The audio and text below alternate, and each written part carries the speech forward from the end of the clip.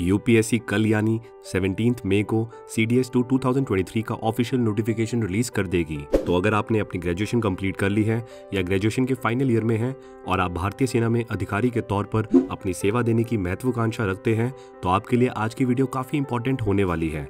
क्योंकि आज की वीडियो में हम सी डी एस यानी combined defence service examination two 2023 से जुड़ी सभी ज़रूरी डिटेल्स जैसे एग्जामिनेशन डेट एलिजिबिलिटी और सिलेक्शन प्रोसेस को देखेंगे। तो बिना किसी देर के वीडियो को शुरू करते हैं। Combined defence services examination UPSC द्वारा साल में दो बार कंडक्ट किया जाता है।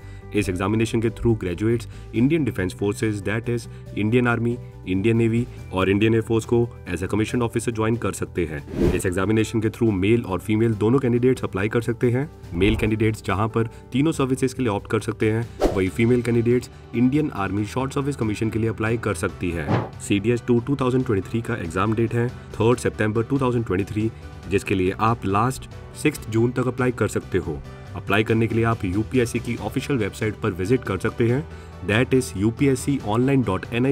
इन अब अगर हम एज लिमिट और एलिजिबिलिटी की बात करें तो इंडियन मिलिट्री एकेडमी के लिए मेल ग्रेजुएट्स एलिजिबल हैं, जिनकी एज 19 टू 24 इयर्स है at the time of commencement of course that is candidate born between second July 2000 to first July 2005 are eligible Indian naval academy के लिए candidates जिन्होंने BE e या BTech complete कर ली हो या फिर फाइनल ईयर में हो और उनकी एज 19 टू 24 इयर्स हो at the time of commencement of course are eligible that is candidates born between 2nd July 2000 to 1st July 2005 are eligible अब अगर बात करें एयरफोर्स अकेडमी की तो वो सभी मेल ग्रेजुएट्स एलिजिबल है, जिनकी एज 20 टू 24 इयर्स है at the time of commencement of course that is candidates born between 2nd July 2000 to 1st July 2004 are eligible air force academy में अप्लाई करने के लिए कैंडिडेट्स के पास प्लस टू में मैथ्स और फिजिक्स सब्जेक्ट होना कंपलसरी है।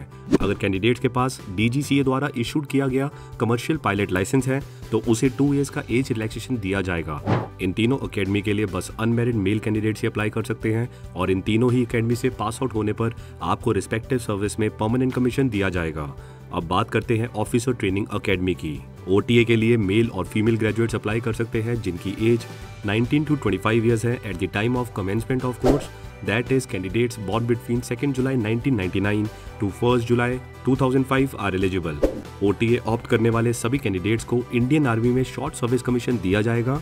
इंडियन आर्मी में शॉर्ट सर्विस कमीशन का इनिशियल ड्यूरेशन 10 इयर्स का होता है, जिसको 4 इयर्स के लिए एक्सटेंड कर सकते हैं। Combined defence services written exam में टोटल थ्री पेपर्स आपको देने होते हैं। That is English general knowledge and mathematics English और जी पेपर सभी कैंडिडेट्स के लिए मैंडेटरी है। वही मैथ्स पेपर उन सभी कैंडिडेट्स के लिए मैंडेटरी है, जिन्होंने आई M A I N A या ए एफ़ ए के लिए ऑप्ट किया है। अब सवाल आता है कि combined defence service written examination की प्रिपरेशन कैसे की जाए? देखिए, इसमें कोई डाउट नहीं है कि यूपीएससी सीडीएससी रिटर्न एग्जामिनेशन का सिलेबस काफ़ी वास्ट है, और इसी कारण से आपको एक स्ट्रक्चर्ड कंटेंट की हेल्प से ही प्रिपरेशन करनी चाहिए। अगर आप सेल्फ स्टडी के साथ अपकमिंग सीडीएस एग्जामिनेशन को क्लियर करना चाहते हैं तो मैं आपको C D S book recommend करूँगा। इस 400 पेज की बुक से हर अटेम्प्ट में 20 टू 25 क्वेश्चंस आ जाते हैं। इसके साथ ही 5000 प्लस मोस्ट एक्सपेक्टेड एमसीक्यू से आप 10 टू 15 क्वेश्चंस अपने एग्ज़ाम में एक्सपेक्ट कर सकते हैं। अगर आपका M I M A I N A या ए एफ़ ए ज्वाइन करने का है तो इसके साथ ही आपको ज़रूरत होगी C D S maths fast track with shortcut tricks book की, जिससे आपकी मैथ्स क्वेश्चन सॉल्व करने की स्पीड बढ़ सके और आप आसानी से पेपर को सॉल्व कर सको। बुक्स अमेजोन और फ्लिपकार्ट पर अवेलेबल है।